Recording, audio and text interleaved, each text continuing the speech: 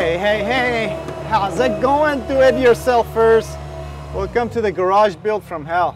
Yep, I don't even know where to begin this update. This really, really sucks. But anyway, I'll give you the quick version. Now, as you may have remembered in my first video on the garage build, or the second video, I guess, you could see me measuring the distance between the top of the where the slab would go to the power lines that are gonna be above the garage. Now that's because you have to maintain a certain amount of clearance between the top of the building, which is gonna be 18 feet high, and this, these power lines. Now, I was under the impression that it was gonna be eight feet and the county was gonna be okay with that. But when the inspector came and saw that we were building under power lines, he said that we can't build under power lines, especially since we're gonna need a crane to put the roof trusses on this building and that's gonna create a problem. But not just that, it's just simply against county law to build under power lines. Now, my question, which is probably gonna be your question is, why did they give me the permit if they saw that there was power lines gonna be above this building? Now his answer was that on my property, there shouldn't be any power lines on the property unless someone gave, gave an easement. The previous owner probably here gave an easement to the power company to run these power lines over his property. So yeah, here's a look at the property. Here's the power lines running right through the middle, sort of. And that's where it's coming from. It's coming from the neighbors. So that neighbor also gave the power company an easement, probably, I don't know, 30, 40 years ago. Now I went back and forth with the city a couple times, but the problem is when you deal with the city and you're trying to get a permit for building something, in my case, this, this garage, is that you don't really want to be on, on their bad side, really, because it's not just inspection for you know allowing you to build it, it's that they'll need to inspect the the footings for the foundation, the slab, but more importantly, the building, the structure itself, how it was built. Then later on, I'm gonna be running power to the building. They could also give you a hard time if they see you grading too much, you know, removing too much dirt. Then they, they could require you to go get a grading permit, which is a huge pain in the ass. It's gonna delay the project six months to a year. So all of that into consideration, you know, I thought I'm gonna make an executive decision and pull the plug and that is pulling the plug on building the garage here, but not all together. I'm actually gonna build the garage right there in that area. And, but, but this is gonna require uh, transplanting like 20 plus trees, which is not gonna be a problem. I'll have people helping me. But as far as why I'm in the Bobcat, that's because I would have to pay a whole bunch of money to the contractor to not only fill this hole back in, but also remove those trees and grade that area dig the footings, get basin, and all that. So what I've decided is to go rent the Bobcat, which I did yesterday, and start filling this hole back in.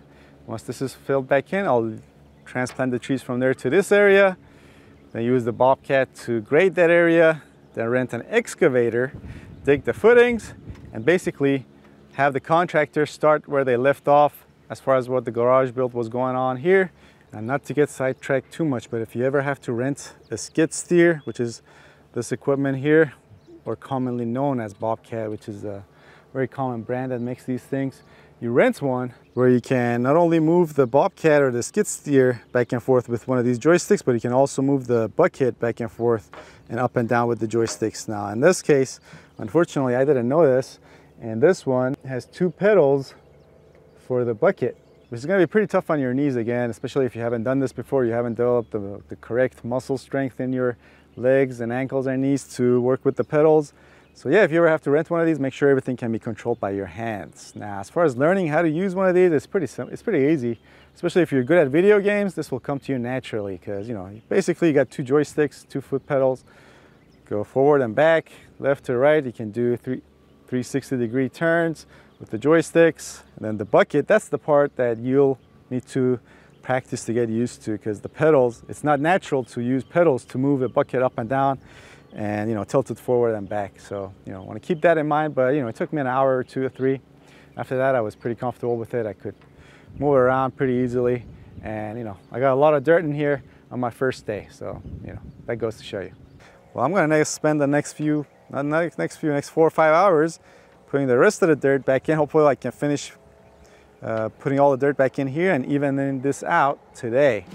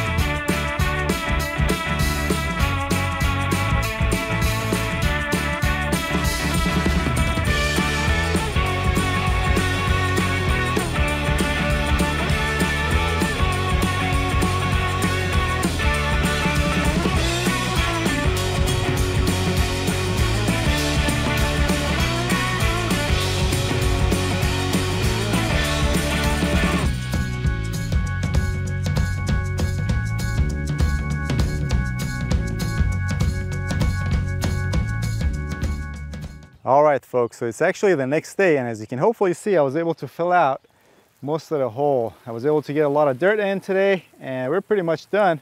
But not just that, I was able to transplant three of the avocado trees as well. And here's a closer look at the at the area. You know, it's still got a slope to it, but you know, this is as good as I can do right now, especially since I'm running out of time and need to get working with that bobcat. I have to return that in a couple of days, so I need to transplant all the avocado trees to this area so I can start grading that area. Yep, gonna have to transplant about 25 more avocado trees to clear this area to be able to uh, grade this area for the slab for the garage. So yeah, yesterday we got done transplanting about 25 avocado trees to the spot where the garage was gonna be originally. And here's a look at where those trees were and where the slab for the shop is going to go. I got started on the grading yesterday actually after we finished moving the trees and I got a decent amount of work done. But That area, that corner is fairly even. I just have to, you know, spend the time and work my way up here, then go around. The only problem is, since I haven't done anything like this before, this is gonna take me a while. When I give you a shot from above, these lines that I've drawn is gonna look a little crooked, and they're gonna look crooked because they are. And they are gonna be crooked due to this drop off here. Now there's a rule or law here that you know the bottom of your footing can't be uh, less than seven feet from where a drop off is. So I've had to, on this, on this side, you know, I can get this close, but on that side, since this drop off is at an angle, I had to push that corner of the building a little up. So everything is a little crooked. Now you might say, why not just bring this up too so it's not crooked and everything is straight? The problem is if I bring this end up as well, there's gonna be less space where the garage door is gonna go. And the garage door has to go there because this building was designed to be located in the original spot that you know I've had to move since. So you know if I push this up too much see there's not too much space between this and that hill or drop off. So you know cars are gonna have to come in like this.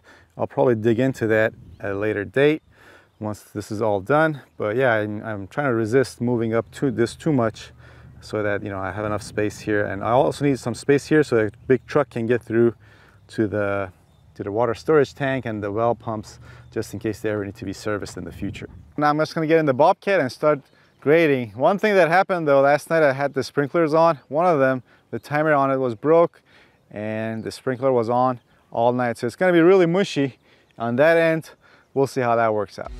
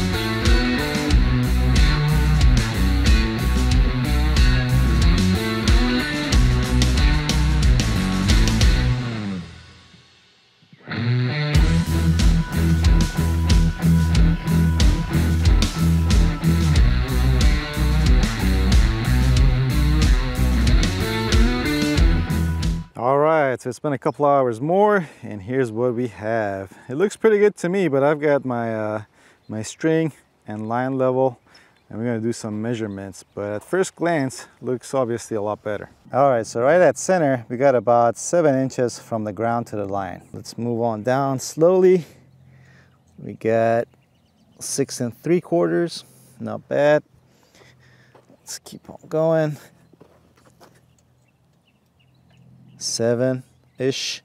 That's pretty good. Let's keep going. over here, uh-oh, we got nine. Let's keep going. And then all the way in this corner, we have, wow, we got, we got a foot.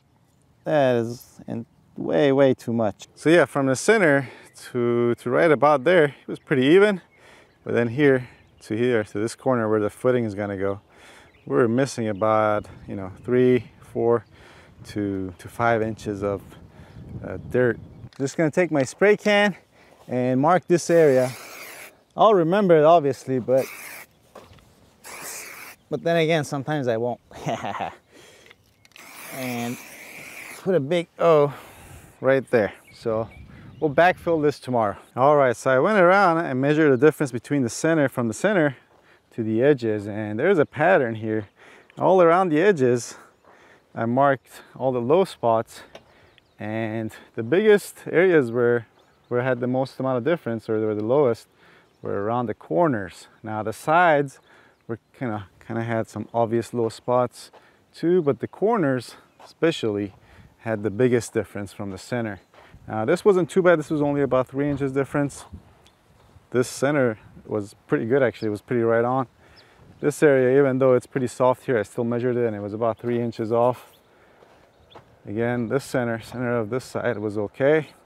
And back to the same corner, which was low again by, I forget now, what was it, five inches or so. But overall, I'm pretty happy what I have right now, given the amount of time and lack of experience I have doing any sort of grading. You know, I just have to find enough dirt to fill these low spots and then call my contractor. He'll bring out his laser level. We'll measure everything, make sure it's okay, and then we'll go on to dig the footings.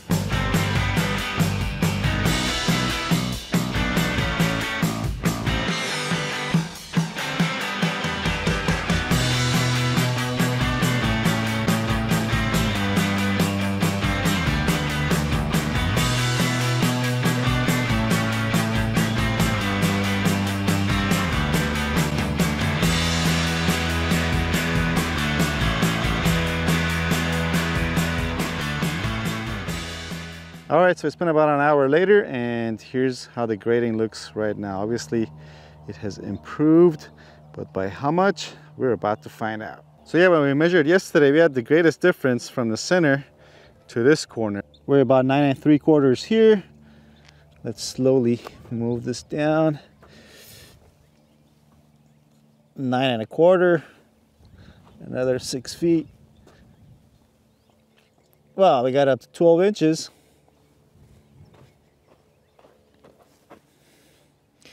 Still 12 inches. And near the footing now we're at 14 inches. So we went from seven inch difference to what is that? Four and a half or so.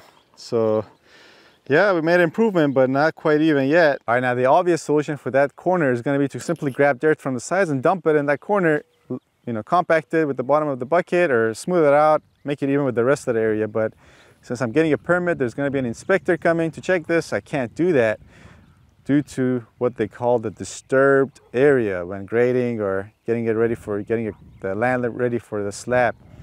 And you know, they say it can't be much much larger than the square footage of the building. So you know, I have a 2,000 square foot garage I'm going to be building here, so the disturbed area can't be really much larger than 25, 3,000 square feet. And I've already gone past the, the border where the building is going to be on the side a little bit, and that on that side as well. So I can't keep on digging around, picking up dirt and dumping it where I need it because that's going to expand the disturbed area. I have no idea for why that is, you know, for environmental reasons, for maybe land development or whatever the reason is, you can't do it. But the solution I have though, we have is that we're gonna be digging the, the footings. You're gonna have a lot of dirt when we dig the footings. We can use that dirt to put in that corner or other low spots, smooth it out, compact it, make everything more level then. So for now, I'm done. I'm just gonna draw out the lines for the where the slab is gonna be so the contractor, when he comes to with his level to measure everything, and he can see where the footings are gonna go, he can check that and make sure everything is gonna be good. All right, folks, just finished drawing this line on this end, but while measuring to see if we have enough clearance to the drop off in some areas, since this drop off is not exactly even, it comes kind of close to being seven foot from the bottom of where the footing would go if the footing was to start from here. So I'm actually gonna stop now, wait, my uh, contractor is supposed to get here. He's gonna give me his two cents and see if we can. This would be a good line to start the footing and then after that we would draw the rest of the lines and go from there. All right, so my contractor just left and he what he said was actually what I was hoping we could do, which is not only we can draw this line or start the footing here, but we can actually uh, move a little bit closer to the drop off if we make the footing longer. Because you know if your footing on the sides the longer it is they measure from the bottom of the footing and they go out towards the drop off. And if it doesn't hit sunlight at seven feet when going towards the drop off then you're fine. So by making the footing longer or bigger we actually uh, we can have we can go further out. So which means that we can actually move this back a foot uh, which is really great because we're running out of space there so yeah by moving that way a foot we are good here. In fact, we can actually have the, the footing come back a foot here, which is great because again, we don't have enough space here because since the garage door goes here for cars to get in here easily. So this is gonna really be helpful. And also we decided to make uh, the, the concrete or the top of the slab be just above this drop off now this is a five inch slab and a 12 inch footing so and but you know we already have a foot here but again, again, what we're gonna do is actually dig the footing deeper here, put more base in here. You know, the base doesn't cost much, so we're gonna have a really thick base here. Again, this is class two base, they call it. So we have probably like six to eight inches of base, then the five inch slab, which would give us just above grade here, which is great because that means that, you know, I don't have to do any, uh, any work to this grading, any grading work here and water is not gonna get into the garage every time it rains. I still have to do some water management. We'll get to that when we cross that bridge when we get there because again, this is a slight slope here, but to begin with, the slope is gonna be higher than grade. Now, one other thing we talked about was how much is gonna cost him and his crew to do the work that's remaining, which is, you know, put the base in, dig the footings, put the base in, put the forms in for the concrete, and all that. And he's gonna get back to me with a quote later today. Now I said, I, I know I said I was gonna do it myself, but to be honest, I'm renting the Bobcat, which is, I've had it for, for a while now. It's due back tomorrow, tomorrow morning. I'm not gonna have enough time to do the, to work with the Bobcat anymore. If I wanna do the base and all that again, I would have to rent it again. But it's not just that, it's an excavator. I would have to get to, to dig the footings. Also, I would have to hire someone or ask a friend to come help put the forms in. And there's always a chance I might not do it, I might not do it right, and then there'll be a problem on on pour day for the concrete, which is not, not something I'm looking forward to. So he's gonna get back to me with a quote later today. If it's not way off the chart, which I, which hopefully won't be, then I'll have him do the work, then what's remaining. But if it is, then I'll just simply toughen up and do the work myself. We'll see you at the next video, which would be either me doing the the base and or the footings and the forms or my contract. But until the next video, make sure you subscribe and also hit that bell notification so you're notified when that video comes out. And in the meantime, you can check out these videos that I'll put links to on this side of the screen. Any of my videos in the suggestion box, that'll work as well. All right, thanks for watching. I'll see you guys soon.